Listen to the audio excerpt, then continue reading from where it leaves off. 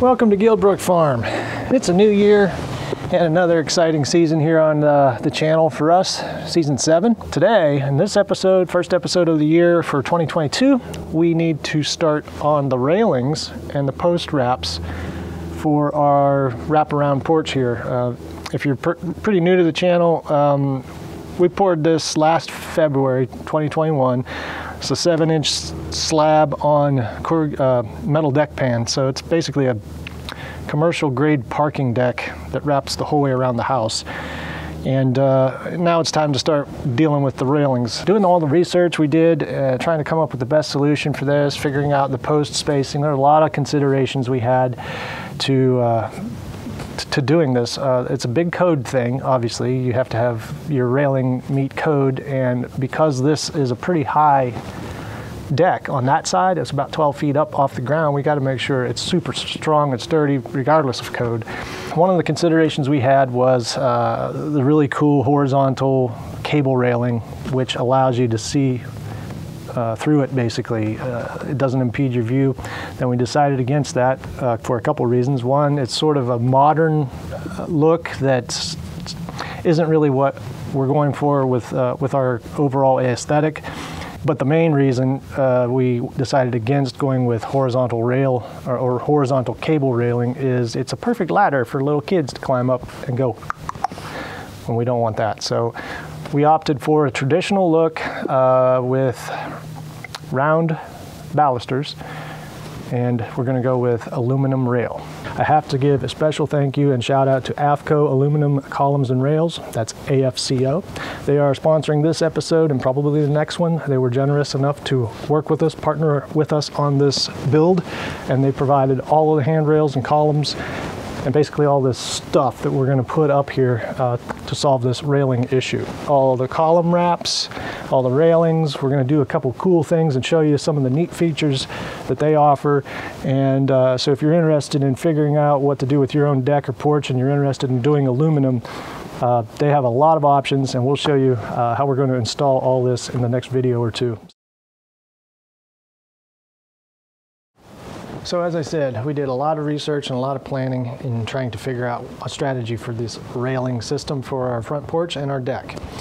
What we went with was a combination of different products from AFCO. Uh, so the post wraps will be their Natchez, that's what they call the style, uh, column wrap. It's a four-piece aluminum column wrap and that you put together and just basically build a box around this. Makes it nice and decorative.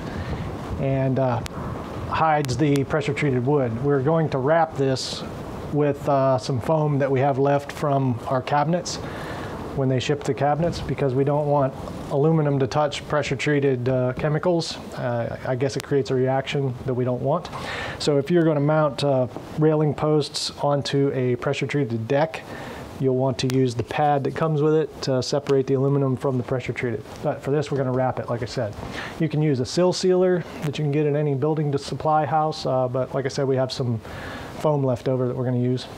Textured bronze is our color. Uh, the reason for that is it matches the dark accents of the house, but even, even better, it's dark. So when you're looking out over the view, it kind of doesn't get in the way. So if it was white, it would sort of attract your eye uh, and sort of be a distraction from the view, but a darker color sort of allows you to kind of look through it without really noticing it as much. So got the first one up. Went together pretty easy. I learned a couple tips and tricks that I'll show you on the next one here. So you put these four sides together called staves. Uh, you put the first three together and then kind of fit it around the post and then you put the fourth side on and kind of bump it together with a rubber mallet. And then you put the base on.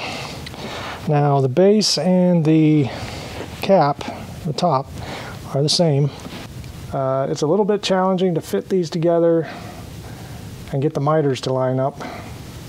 So down here, instead of screwing this into the post, I'm trying an experiment where I just JB welded the uh, two pieces that go together. I'm going to let this sit overnight and see if this actually holds. And if it does, I'm not going to worry about doing screws on the bases, and I won't have any fasteners to deal with. Then I'll go along and I'll put a, a little bead of Lexel at the bottom there to keep water from getting in underneath. And uh, the directions also say you can put a bead of caulk in here to trim it out if you want.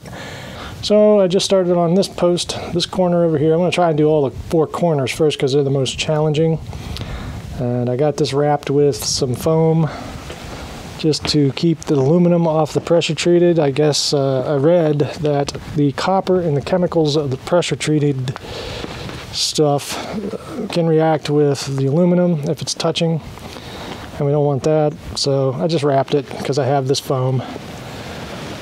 And then we'll uh, I'm to measure this and cut it to length. And one thing I figured out the last one is I'm to leave a little bit more room. I cut it to kind of within an eighth of an inch and it was a little bit of a challenge getting it to work because I've got so many different materials here coming together at this corner. Uh, I got the post, I've got the the stucco on the outside, I've got that beam, and unless everything is 100% perfect, uh, you're going to need yourself a little bit of wiggle room. So I'm going to cut it uh, probably a half inch short and let the base sit on the concrete. And then uh, at the top, because the caps are, I don't know, they're like probably six or eight inches tall, it'll uh, trim it out. And uh, that'll be much easier. Pieces of extruded aluminum that is powder coated. And they snap together to make a box. So we're going to cut some using my red leaded pencil. Works pretty good. Definitely need eye protection because this throws a lot of chips.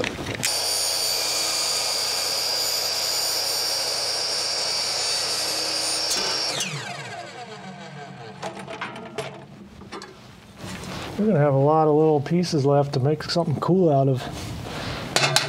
Okay, I'm gonna get ready to assemble the three sides and make a three-sided box. Um, before we do, I figured out a little trick here.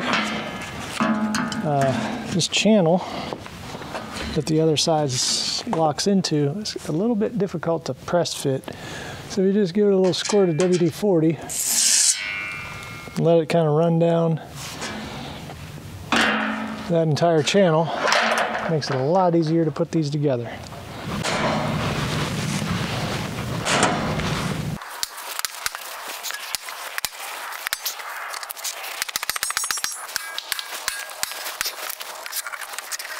All right, so before I lose all of my daylight for the day, I wanted to get this at least started. So I got this blocked here with a piece of half inch and a piece of three quarter, brings it out an inch and a quarter, because I'm gonna wrap, uh, tuck the wrap this way, like flush against there and flush against the face, leaving this much of a gap. And so I want this blocking here to attach my reeling to.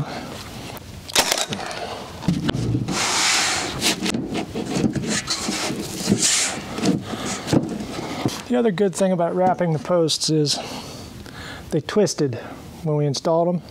They were probably still a little green and a little wet and not bad. One of them's bad, but I mean, this covers that so you don't ever tell, you can't ever tell, but uh, and there's enough room in here that even if it's freaking twisted really bad, uh, you can cover it as long as you get this squared up with the rest of the house. Pretty good. So my weird little experiment with JB Weld on the base worked really nice. No screws necessary and it's it's together. I mean that's the seam where the two halves go together. Here's the other corner. I haven't done this one yet. Just have it kind of fitted together. So they look like this. So basically what I'm going to do is rough up this little edge here with a file to give me something to attach the for, for the adhesive to bite to. Now I'm to mix up some JB Weld, glue there and there to that side and uh, clamp it and let it sit for overnight. So I'm to try and fit the cap around all of this business now.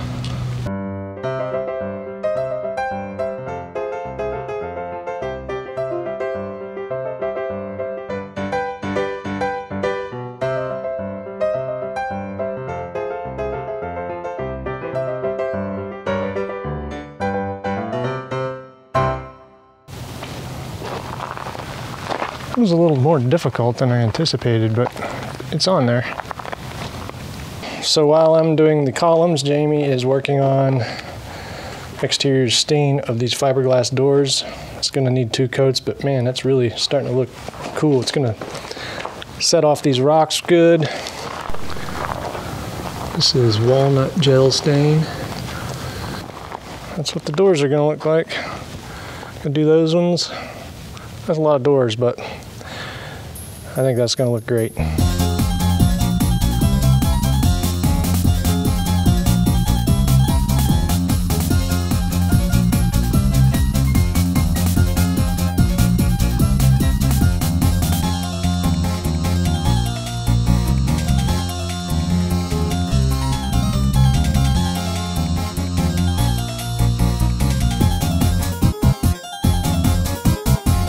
So putting on these capitals is a little bit of a challenge, these tops. The bases are easy. I'm gonna do all those at once. So what I'm doing, you know, you got two halves here that are mitered, and that's the challenge, is getting these miters to line up, especially when everything is not perfect. So I'm drilling holes, countersinking. This is my last cap, or capital on, the, on this side of the porch at least.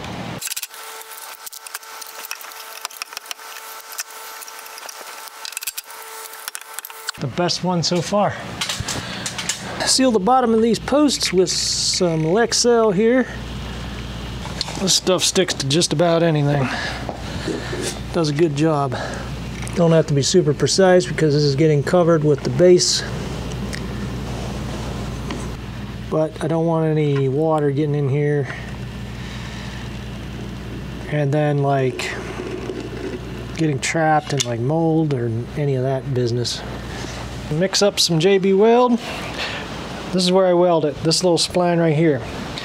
And that's all it seems to need, so I'm just going to take off this paint with this file. Okay, I'm going to do that on both of them so we can get a good bond.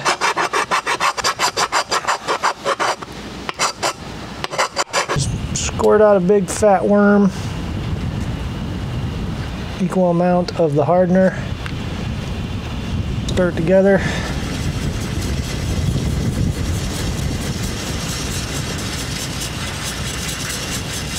All right, I put the goop on. Put that on there. That on there. Mash these corners. That looks pretty good. I'm just gonna put these here just to, in case the wind blows funny. Help keep it squared up. And I'll let that dry overnight and we should be good. Well, it's the next day and the JB Weld seems to have worked on the base pieces. Everything turned out nice. Uh, really happy with this. I like the way it matches the window trim and uh, hoping that the railing is uh, relatively simple to put in. I'm going to start working on the back porch, do those columns, and then we'll figure out the railing.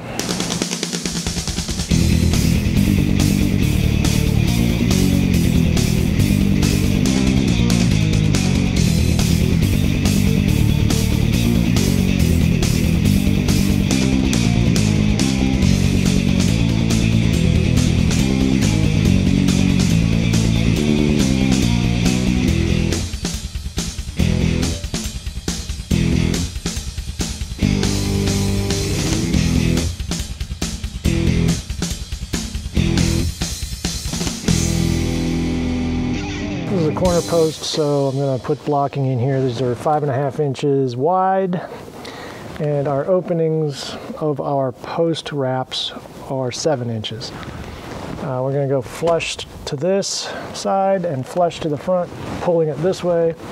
So we won't need to block this side because it'll be going right through aluminum directly into the post. We'll need to block this side an inch and a half here and here for the top and bottom rail. And then on all the other mid posts, we just need to block three quarter on each side because they'll be spaced uh, with equal amount of space on each side and pulled flush to the front. So that's what I'm doing.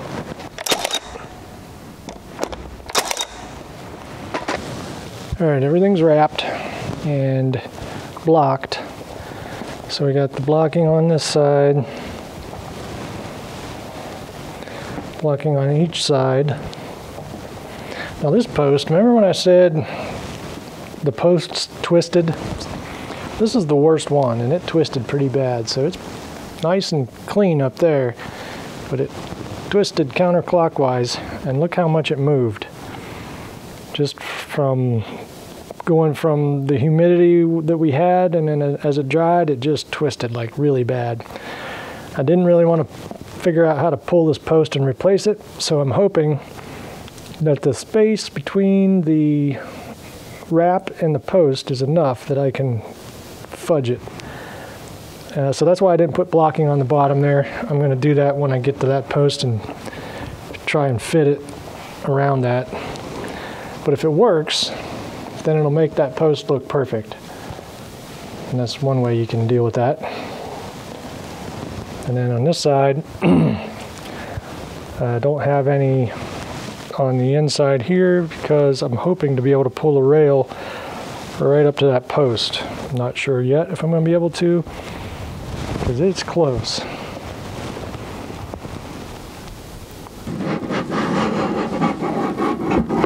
Oh, look at that.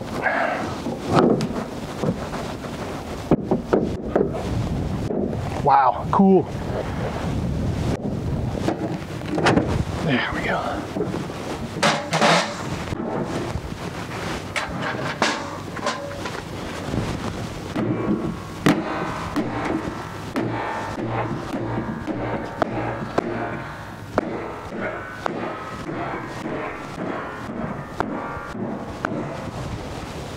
Perfect.